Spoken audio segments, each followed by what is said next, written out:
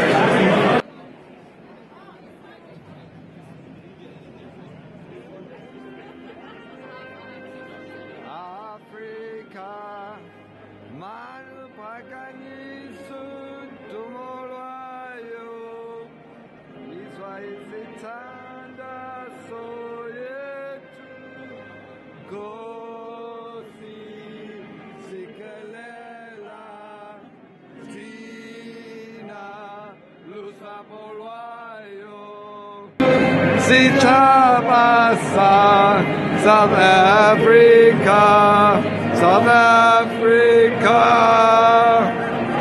Make it open on Yama, make it